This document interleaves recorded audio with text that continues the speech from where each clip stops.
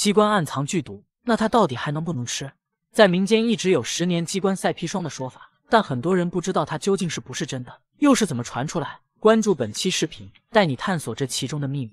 说在这北宋时期，有一渔民常年一个人出海打鱼，往往出去很久才会回家。这天，渔民回到家里后，妻子见到他很开心，便将家里养了十年的老母鸡宰了，当晚给渔民炖了一锅鸡肉汤，打算犒劳他。结果就在第二天，妻子醒来时发现身旁的丈夫没了动静。于是妻子被押上了公堂，不明真相的群众对渔民的妻子指指点点。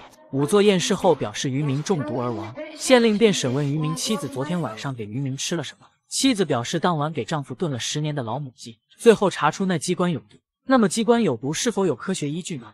不知道大家有没有听说过这样一句话：鸡不过六春，狗不过八秋，说的就是鸡的命一般不会超过六个春天。事实上是怎么样暂且不说，但可以看出鸡通常是不可能活到十年的。因为鸡在成熟后，不是被安排着下蛋，就是会被屠宰掉。所以说，十年鸡冠有剧毒是不太可能的。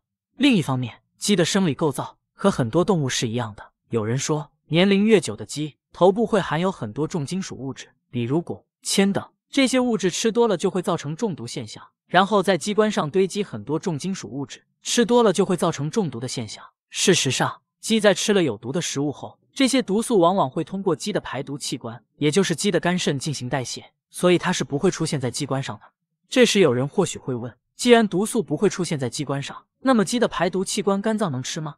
事实上，鸡的内脏有着丰富的蛋白质，是可以吃的。但是在营养丰富的同时，鸡内脏的胆固醇含量却非常的高，吃多了就会造成一些高血脂的发生，所以大家还是要适量食用。另一方面，在吃鸡内脏的时候，一定要煮熟、清洗干净。因为鸡在吃一些活体小虫的时候，可能会将一些寄生虫卵吃到肚子里。如果人类吃到肚子里，还会引发各种寄生虫病。好了，今天的视频到这里就结束了。如果喜欢本期视频的话，点赞三连。对此大家有什么看法呢？欢迎积极留言评论。